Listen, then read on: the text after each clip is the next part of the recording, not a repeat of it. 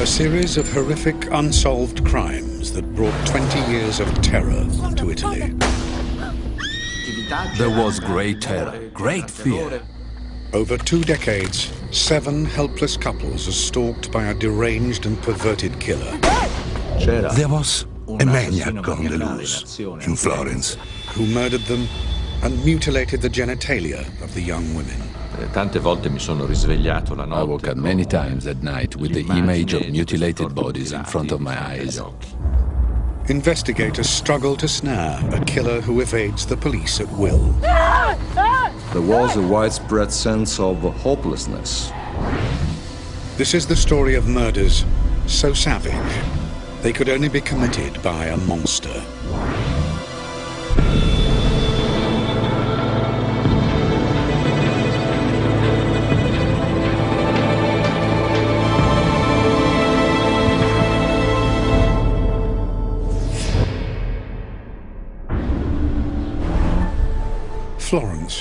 One of the most romantic cities in the world.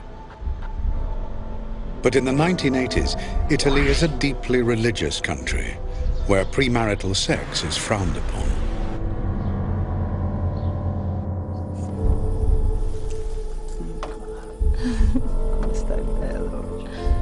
A young couple escape to the countryside, far from the watchful eye of parents.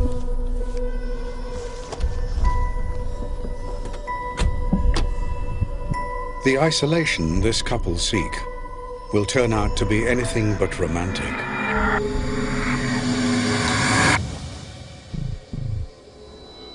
On the morning of June the 6th, 1981, an off-duty policeman makes a gruesome discovery.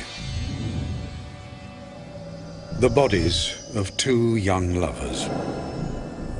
Forensic pathologist Giovanni Morello examines the victims.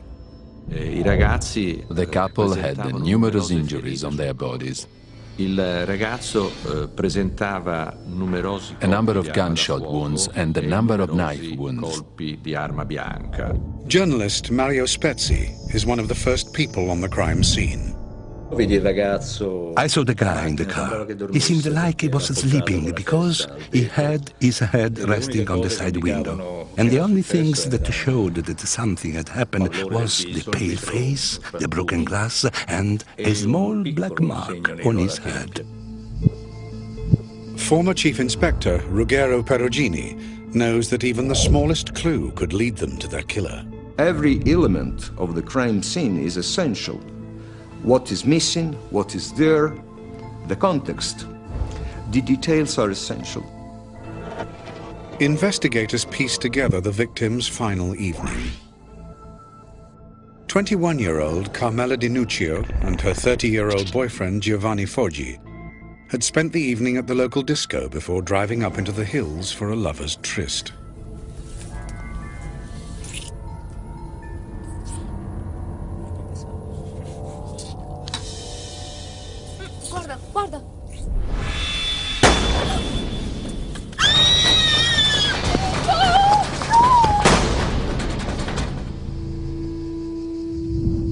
Only have the couple been brutally executed, the killer has violated the female victim in a sinister and sickening way. Siamo rimasti perplessi sulla We were perplexed by the fury of the attack. e soprattutto sulla eh, Especially the violence che era stata inflicted on the inferta sulla girl. Ragazza. La ragazza aveva She had her pubic area cut out. Guardai aveva She had, very shockingly, a wound below her abdomen that couldn't really be described as a wound. It was like her lower abdomen was missing. The Carabinieri, Italy's local police force, struggle to find a motive for the murder. But the isolated setting for the attack prompts investigators to make a connection with an unsolved murder from seven years earlier. Nel 74. C'era In 1974, there was a very similar case in an area north of Florence. a nord di Firenze, Two young people who had been making love in a car amore in macchina were killed. Pasquale Gentilcore and Stefania Pettini have been found viciously murdered in the countryside just outside Florence. And there are other similarities. Again, the murder seems to have no motive, and the female victim was singled out for mutilation. Dopo la morte after the death of the girl, an additional number of stab wounds were inflicted on her, mostly around the genital area. A vine branch was also inserted into her vagina. As the people of Florence reel from the shock that the two murders could be linked, the investigation takes a surprising turn a local man known to spy on courting couples, Enzo Spalletti, is arrested and charged with the murders. The city breathes a sigh of relief. He was known as a peeping Tom. It was believed he was discovered watching this couple and had reacted by killing them. It looked like it was nothing more than a tragic story. But as the Carabinieri hold Spalletti in jail, believing they have caught the killer, their investigation is thrown into turmoil. A young couple spend the evening together. After a movie, they escape to the countryside just outside Florence.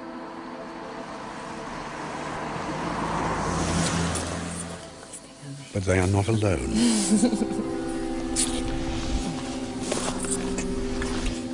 guarda, guarda! The attack is alarmingly similar to the earlier murders.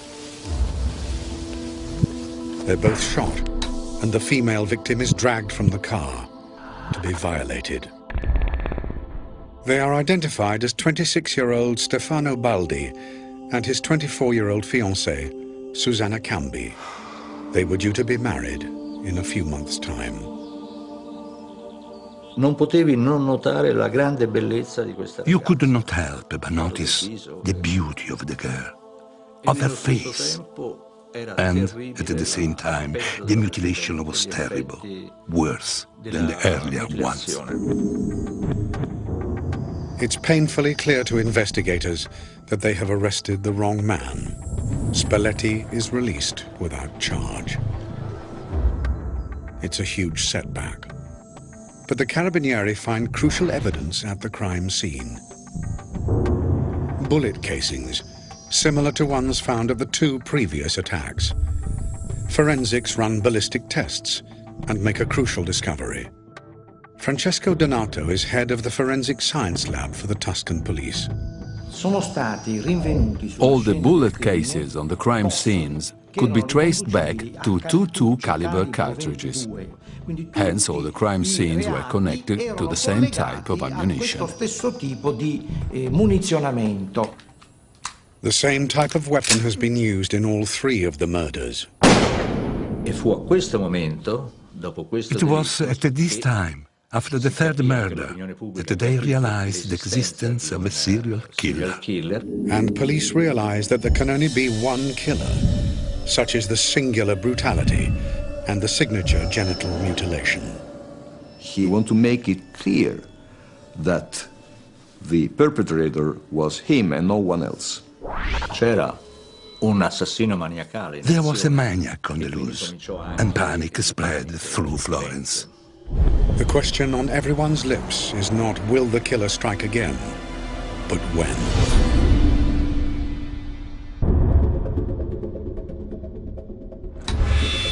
Three couples murdered in the quiet foothills around Florence. Seven years have passed since the first attack in 1974. And the Italian Carabinieri are no further forward in trapping the serial killer responsible for the murders. Journalist Mario Spezi, who has followed the case from the beginning, gives the killer a name. I used the term the monster of Florence to create a parallel with other historic crimes such as the monster of Dusseldorf and the monster of Boston. The monster's crimes are identified by a grotesque mark. The entire genital area of the female victim is cut out and removed. Even hard-boiled journalists are doubtful about revealing the truth. The people of Florence are gripped by fear.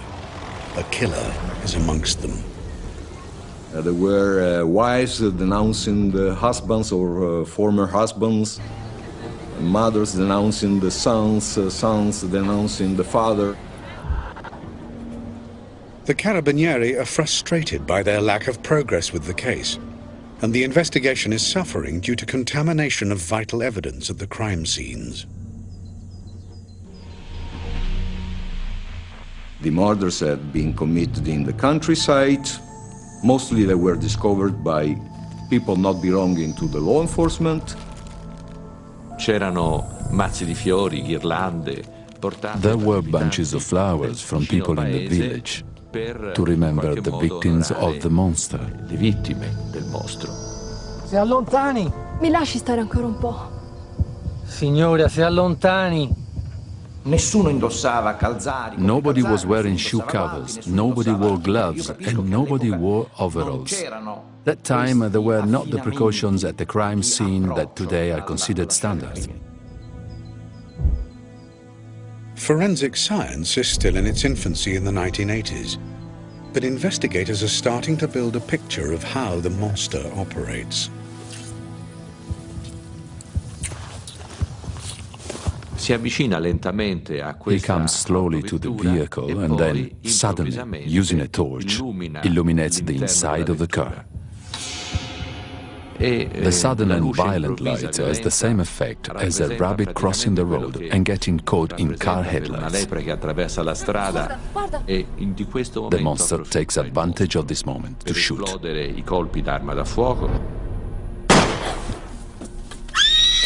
One of the elements which characterized the, the, the crime scene was that he killed the man first and then he dragged the, the bodies of the female victims far from uh, their fiancés, sort of stressing his possession over the female victim. Abbiamo anche ipotizzato, We hypothesized that, given the way he cut out the pubic area, that he was an expert che knife fosse user. una persona esperto di armi da taglio. Potesse A essere un surgeon, chirurgo, a un gynecologist ginecologo, maybe.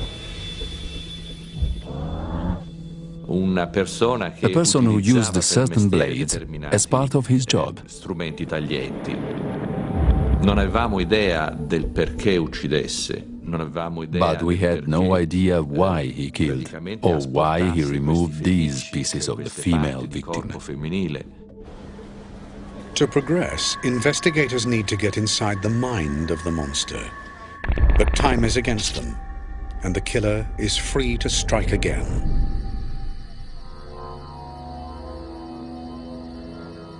On June the 19th, 1982, in a country road just outside Florence, passing motorists report what they initially believed to be a traffic accident.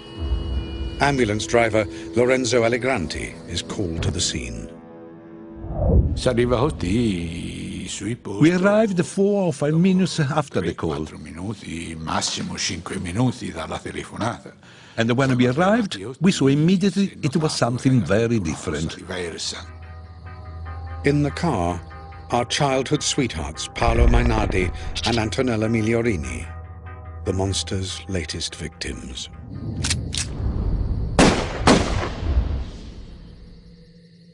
Prima di tutto... First of all, I saw Antonella. Ho verificato e le- per lei... I realized there was nothing to be done for her. She was already dead. morta. Quella accanto... The other victim was lying on the back seat. Eh, nella, nella poltroncina di dietro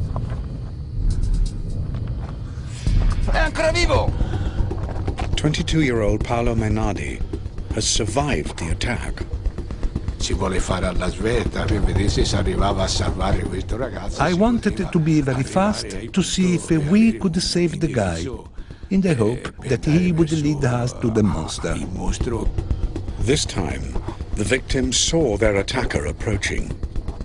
Il ragazzo mise in The guy started the car and tried to escape by putting the car into reverse.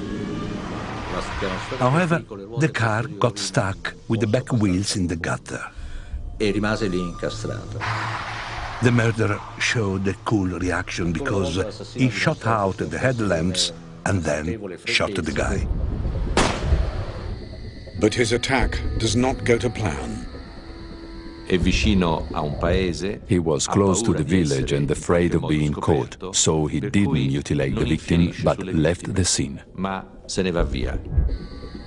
In his panic to escape, the monster has failed to realize that Paolo is still alive. It's the first time the killer has made a mistake. Investigators are desperately hoping that the critically injured Mainardi will survive and help them solve the case.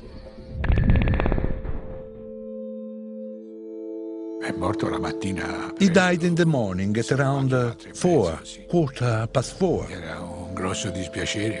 It was a big blow, because by saving him, things could have been different. Mainardi has died without being able to reveal anything about the murderer. But the Carabinieri see an opportunity to try and trick the killer and drive him out into the open. Ricordo molto bene che il giorno dopo, anzi il giorno stesso... I remember clearly the day after we were called by the state prosecutor. che ci disse, gli devo chiedere She said, I would like to ask you for a favor. Could you publish a false story that possibly the victim had said something or seen something? di aver visto qualcosa. Questo ve lo chiedo perché Hopefully the murderer will read the story and perhaps make a mistake. Commetta un errore. It is just days after Mainardi's funeral. Lorenzo Allegranti, the ambulance driver who tended the dying Paolo, is asleep in bed.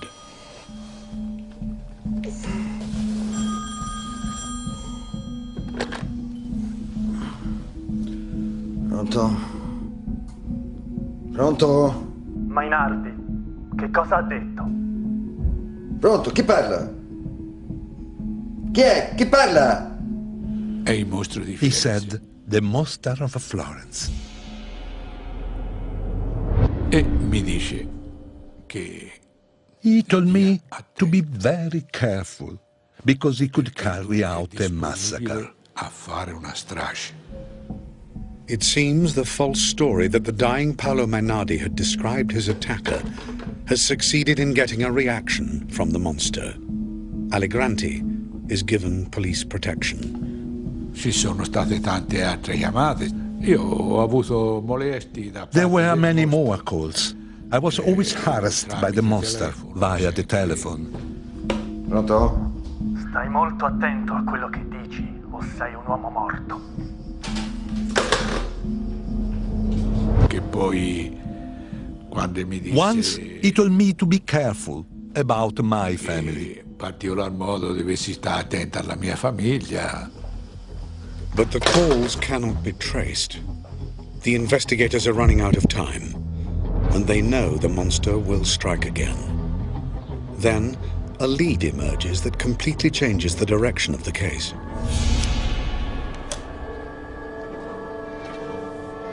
It comes in the form of an anonymous letter.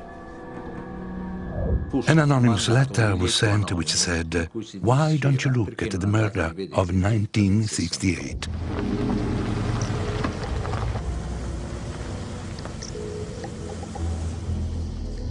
Fourteen years earlier, just outside Florence, a couple were shot dead in their car in an isolated spot.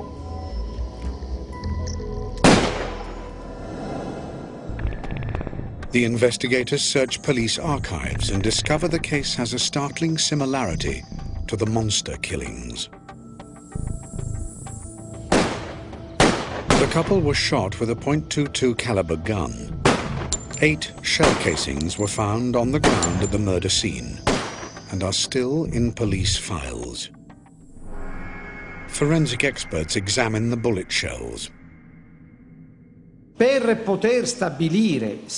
be able to tell if the shells all came from the same weapon, they have to be analyzed using a comparative microscope. This is the imprint of the firing pin enlarged. Here we can see the particular characteristics that identify the cartridge.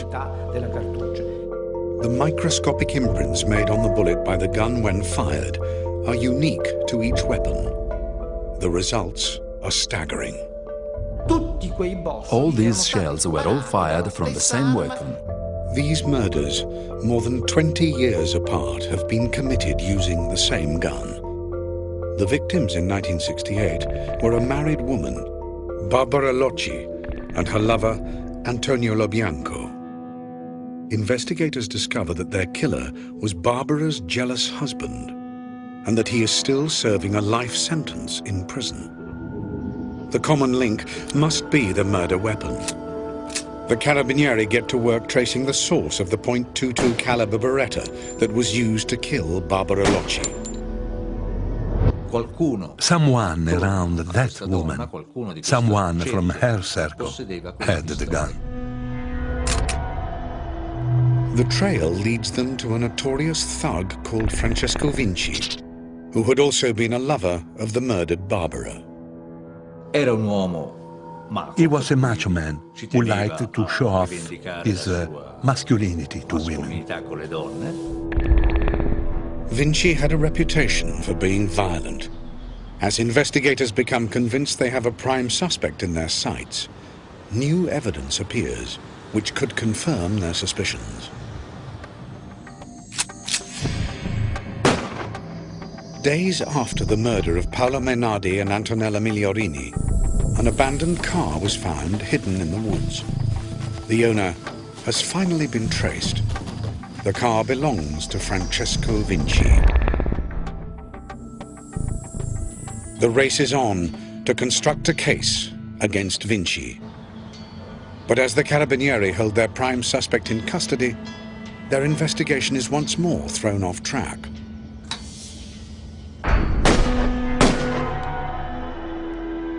Reporter Mario Spezi finds himself at the scene of yet another double murder. That night I stopped my car there and I came here and I saw all the policemen and magistrates. They were here and they were really shocked because at that time they were sure a monster, the monster was in jail. Francesco Vinci was the monster. Investigators quickly run ballistics tests on bullet shells found at the scene. There is no doubt the monster is still at large, and he has killed again.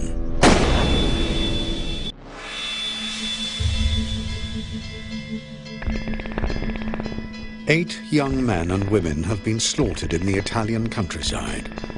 Police have been chasing leads, but they have come to nothing. The monster of Florence is still at large, and he has killed again. Two German tourists have been shot dead in their camper van. But for the second time, the monster's attack has gone wrong. The policeman said, have a look inside. I looked and I thought it was a girl. It was a, a boy with long, very blonde hair. He was very slim. Me too, when I saw the first time, I thought it was a girl. The murdered men are two students, Wilhelm Meyer and Uwe Rouge Sens. Investigators think the killer has mistaken one of the long-haired students for a woman.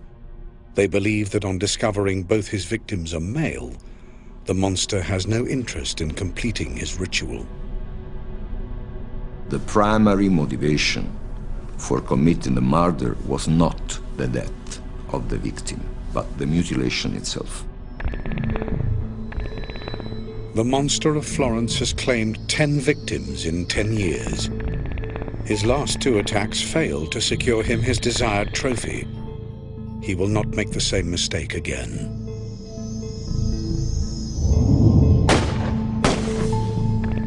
Nineteen-year-old Pio Rontini and 21-year-old Claudio Stefanacci are engaged. They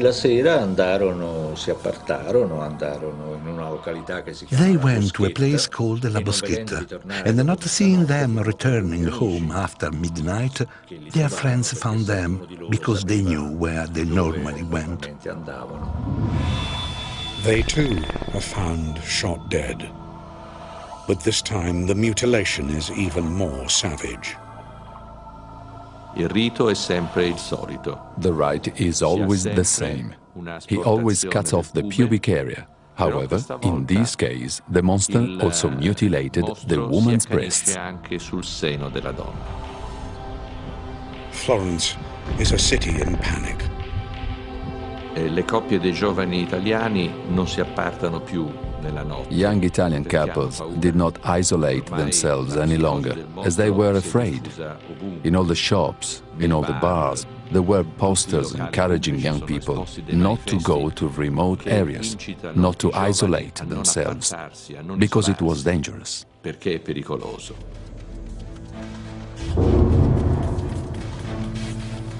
But not everyone understands the danger.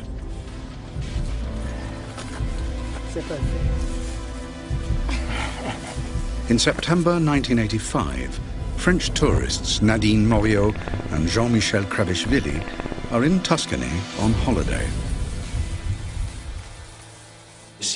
They camped in the woods around Scopeti. Scopeti. Salut.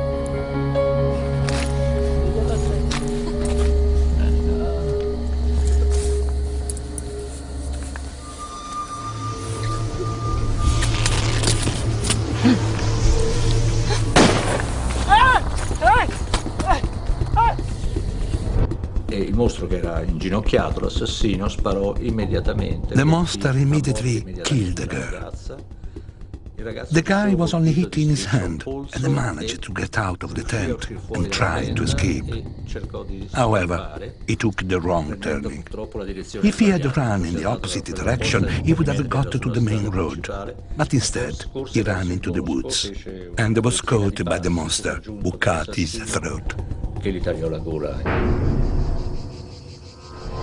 It's soon revealed by the monster why he has targeted and killed the French tourists. He had killed two foreigners, so there was no report of missing people. Then he sent an anonymous letter to the state prosecutor.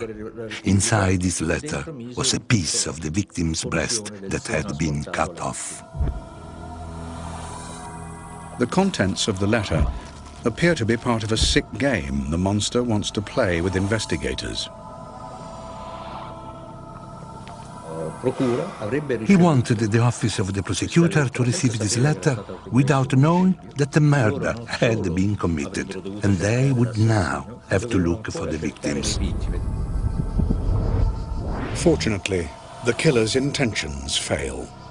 Luckily, a person hunting mushrooms found the bodies a few hours before the arrival of the letter. With the murder toll now at 14, the people of Florence are losing patience. They are angry, scared, and frustrated with an investigation that has failed to trap the killer. Public opinion was very agitated. The police and the courts were under immense pressure. Era diventato ormai il punto nero per tutta l'Italia e credo anche It had become the black spot of Italy. An episode like this has never happened before in the criminal history of Italy.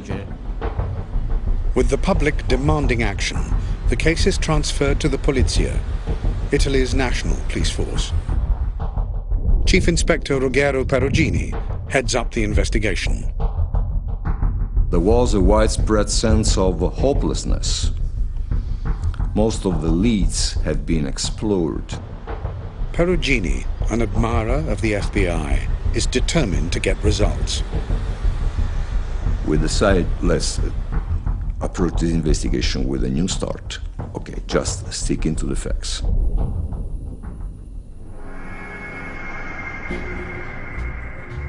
Perugini initiates a massive screening program of local criminals, utilizing the new police computers and databases in the Polizia's head office.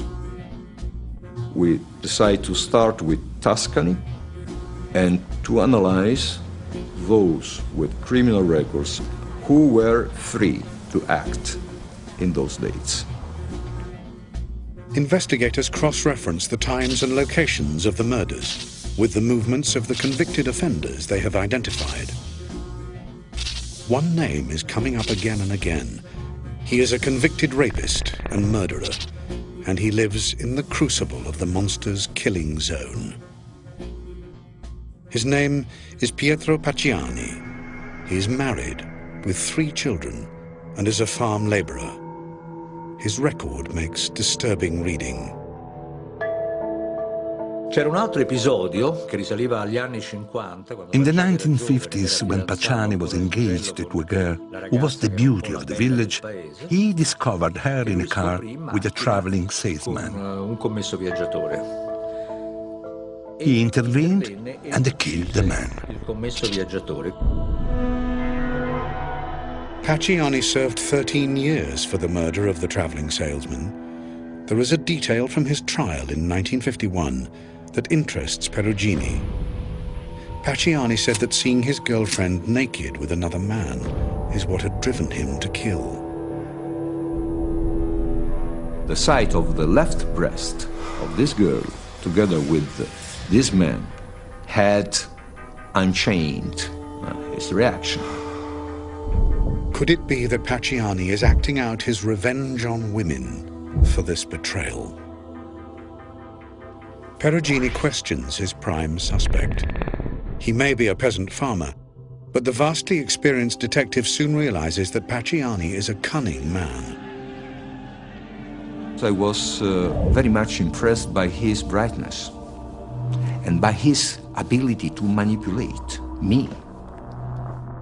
I came out from that first contact with the impression that Pacciani could pretty much fit with the profile that we had. The Polizia closely study their prime suspect. Pacciani may be over 60 and have health problems, but investigators believe he is capable of committing murder. Monitoring his behavior, we noticed that uh, this problem didn't prevent him uh, doing things that were not normally compatible with uh, this kind of illness, such as uh, carrying a big trunk of a tree uphill. And we discovered he was a man of a great strength, not tall, but extremely strong. Perugini is convinced he's closing in on the monster, but he needs evidence to build a case against Pacciani. The Polizia embark on a series of rigorous searches at Pacciani's house.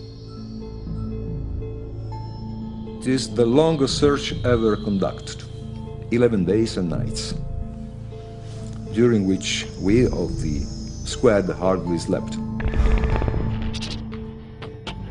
The Polizia's perseverance pays off. They find an artist's notebook that could link Pacciani to one of the murders. We were astonished to find this drawing pad in Pacciani's house, since you couldn't buy them in Italy. We managed to trace where the drawing pads were sold. It was a shop in Osnabrück, the same shop where the two young Germans went to buy their drawing books. Blocchi da disegno. It's damning evidence. But to build a homicide case, officers need to link Pacciani to the murder weapon.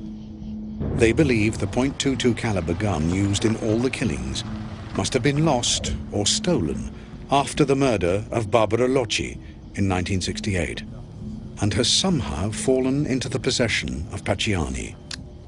A seemingly impossible task until there is an astonishing breakthrough.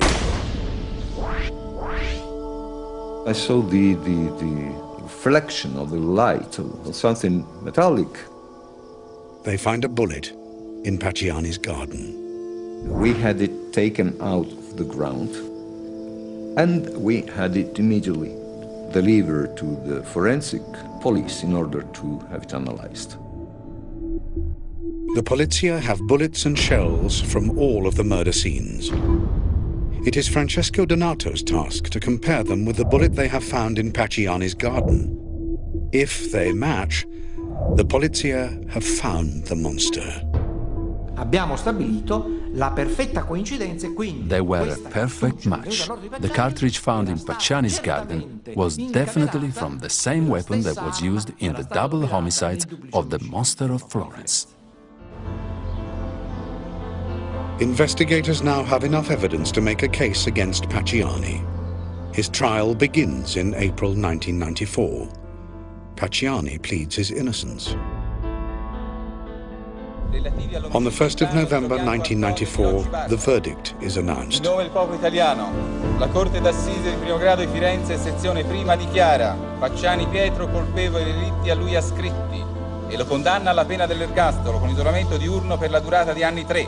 Amidst chaotic scenes, Pietro Pacciani leaves the courtroom to begin his life sentence in Sollicciano prison. But is Florence now free of the monster?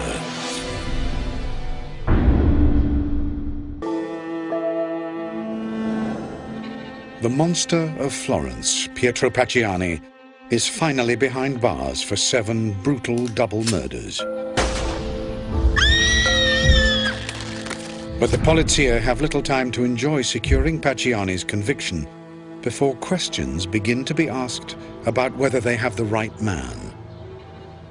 Sister Anna Marie Mazzari is a prison visitor who befriends Pacciani. I believed in the innocence of Pacciani. I don't believe he was capable of such actions. He spoke to me about the bullet they found in his garden. He told me someone has put it here. He considered these things an attempt to frame him, to try to make him look guilty. Controversy is growing over evidence from the final murder scene, committed in 1985, that casts serious doubt over Pacciani's conviction. Questo avvenendo in una zona non molto frequentata. Because the attack happened in a remote area, the bodies were not found immediately. As more time passes between the event that causes death and the finding of the body, the more difficult it becomes to identify the time of death. Più difficile è identificare il momento della morte. The Polizia assert that French tourists Nadine Mauriot and Jean-Michel Kraveichvili were killed on the Sunday night. But the contents of their stomachs still contained traces of rabbit pasta eaten on the Saturday, prompting some to claim they died on the Saturday night. Ma Pardella avec lapin. Il problema del, eh, dello stabilire la data, se sia The problem of establishing if the murder was committed on Saturday or Sunday is fundamental to the investigation because uh, if the murder was Saturday, Pacciani had a strong alibi because he was at a village feast where a great number of people saw him. I colleghi che hanno eseguito l'autopsia hanno posto la morte la domenica. The people who performed the autopsy concluded the time of death was Sunday night, not Saturday. Clearly, I can understand their difficulty in establishing the time of death, as the bodies were in an advanced state of putrefaction. But in this specific case, I don't agree with my colleagues. I thought and still think they did not die on Sunday, but Saturday Non evening. sia avvenuta di domenica, ma sia avvenuta di sabato, nella notte fra il sabato e la domenica. Unanswered questions about the murder of Kraveichvili also remain.